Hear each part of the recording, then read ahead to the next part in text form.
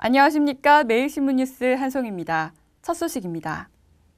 30년째 매일신문에 연재되고 있는 수암 김정길의 칼럼을 묶은 소를 때려야 수레가 간다 출판 기념회가 열렸습니다. 매일신문 전 명예주필 수암 김정길의 칼럼을 묶은 소를 때려야 수레가 간다 출판 기념회가 4일 오후 호텔 인터블고 대구 컨벤션홀에서 열렸습니다. 출판 기념회에는 이창영 매일신문 사장과 이용길 천주교 대구대교구 총대리신부, 김관용 경북도지사를 비롯해 지역 각계 인사 500여 명이 참석해 성황을 이뤘습니다. 이날 행사에는 1983년부터 30년째 매일신문을 통해 연재되고 있는 수암 칼럼에 대한 내빈들의 축하 인사와 소프라노 이정아 씨의 축하 공연 등이 펼쳐졌습니다. 이창영 사장은 수암 칼럼은 사회 각 분야의 다양한 현상을 날카롭게 분석하고 해악과 풍자로 풀어낸 명칼럼이라며 30년 동안 연재한 칼럼에는 수암 선생이 살아온 삶 자체의 향기가 묻어난다고 축하 인사를 전했습니다. 저자인 김정길 전 명예주필은 비판적인 글을 쓰면서 겪어야 했던 여러 불이익에도 꺼리낌 없이 글을 쓸 수 있었던 건 매일신문과 함께했던 8분의 매일신문 사장 신부님들의 무언의 지원 덕분이었다고 말했습니다. 수암 칼럼은 1983년 8월부터 30년째 매일신문에 연재되고 있으며 소를 때려야 수레가 간다는 지금까지 다룬 1,300여 주제 중 2002년 이후 게재된 칼럼 중 100개를 선별해 책으로 묶은 별수회본입니다.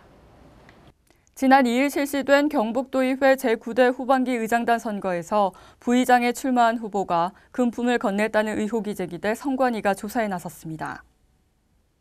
경북도 선거관리위원회는 최근 실시된 제9대 경북도의회 후반기 의장단 선거에서 일부 도의원들이 동료 도의원들에게 금품을 건넸다는 제보가 있어 조사하고 있다고 밝혔습니다. 돈을 돌린 의혹이 있는 도의원들은 부의장에 출마한 두 명으로 이들은 상임위원회 행사 등에 참석해 돈을 돌렸다는 제보가 접수됐습니다. 이에 따라 선관위는 경북도의회 전체 도의원 63명 가운데 16명을 참고인으로 불러 조사했으나 조사를 받은 모든 도의원들은 찬조금은 없었다고 진술했습니다. 선관위 관계자는 문제의 제보는 구두로 접수됐고 참고인들이 모두 찬조받은 것을 부인하는 상황이어서 조사 근거를 마련하기 위해 제보자에게 서면으로 제보를 접수해 줄 것을 요청했으나 이를 거부해 조사에 어려움을 겪고 있다고 말했습니다.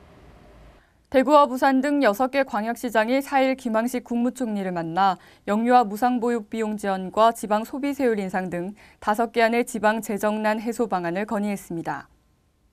김범일 대구시장은 국무총리 공관에서 열린 김황식 총리와 광역시장 협의회 오찬간담회에서 영유아 무상보육 예산 전액 국비 지원과 지난해 취득세 감면의 국비 보전 조속 이행, 지방 소비세율 인상 등을 건의했습니다. 이와 함께 소방공무원 미지급 초과 근무 수당의 국비 지원 등 이전에 건의했던 현안에 대한 정부의 후속 조치를 촉구했습니다. 김 시장은 특히 중단 위기에 처한 0세에서 2세 아동의 보육료에 대한 국비 지원과 향후 지방자치단체에 영향을 미치는 정책 기반 시 사전에 협의해 줄 것을 강력히 요청했습니다.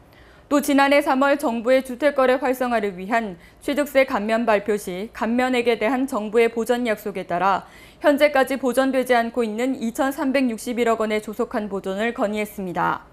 뿐만 아니라 부가가치세의 5%인 지방소비세율을 올해 내 5%에서 10%까지 인상하고 2013년부터는 20% 이상 인상해 줄 것을 요청했습니다.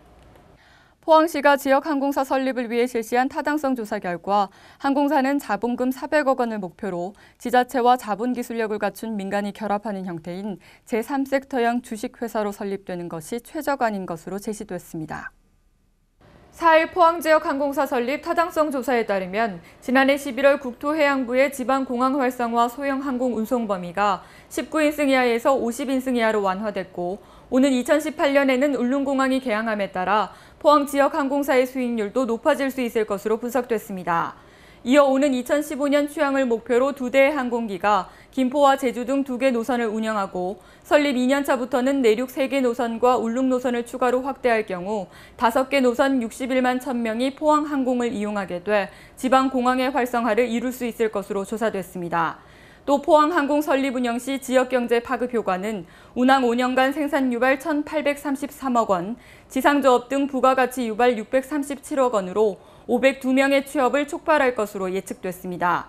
이에 따라 포항시는 시를 비롯한 지자체 자본 출자 예산 확보와 견실한 민간 자본 유치로 목표 연도에 법인이 설립 운영될 수 있도록 적극 추진키로 했습니다. 세계의 식물 보전 분야의 전문가들이 식물 보전 전략 2020 달성을 위한 수목원과 식물원 역량 강화를 주제로 열리는 국제 워크숍에 참가하기 위해 대구를 찾습니다.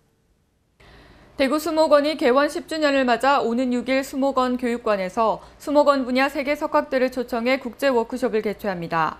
세계 식물 보전 전략 2020 달성을 위한 수목원과 식물원의 역량 강화를 주제로 진행되는 이번 워크숍에는 세계 수목원 식물원 네트워크 기구 관계자를 비롯한 해외 전문가 4명과 국내 교수, 수목원 협회 관계자 41명 등이 참가해 수목원과 식물원의 효율적인 식물 다양성 보전 방안에 대해 논의할 예정입니다.